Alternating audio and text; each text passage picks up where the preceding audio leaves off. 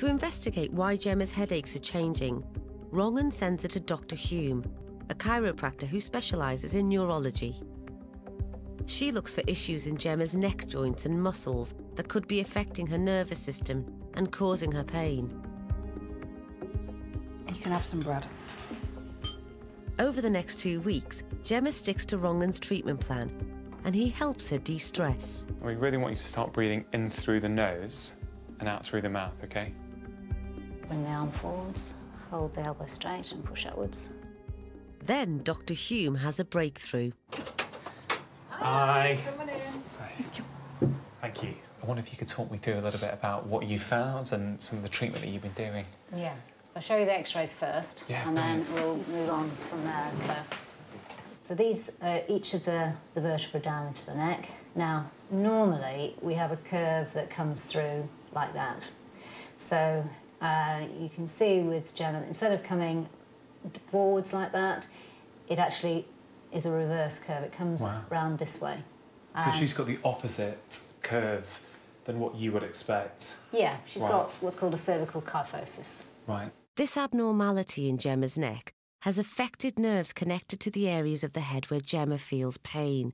the nerves that cut that exit through here, through the, the top area, which is we, what we were talking about, through in here. Yeah. That nerve pierces muscle and then comes up over the head, right over to this area Yeah. here. And very often they get pain at the front, pain at the back, pain at the front, sometimes over the whole whole area. Like Interesting. That. That's where Gemma. No, it starts that- there and it goes to there. That's where you're experiencing a lot of your Here. pain. And that's the it? furthest it comes is sort of here, but it's it's there. What could cause an abnormality like that that you found on the X-ray? Well, I'm absolutely convinced it was injury related and an accident. Can you, do you, what was that accident? it was a Gemma? car accident when I was was I 15? I was in a car with my boyfriend at the time, brakes locked, car span. Um, went how- over a went over a barrier. Um, didn't didn't flip. The car didn't like flip over. Yeah. Um, went over a barrier, and I mean, the car was a write off. I would think that would be a, you know, an, a, a candidate. The Prime suspect. Everybody's familiar with the whiplash where the head goes Yeah. back and, and so on, but these side impacts or rotational strains actually are, you know, the neck really doesn't like that kind of uh, thing. You have been treating her for a few weeks now. Hmm. Would you would you say that her her neck area and those nerves are actually functioning better than when you first started to see her?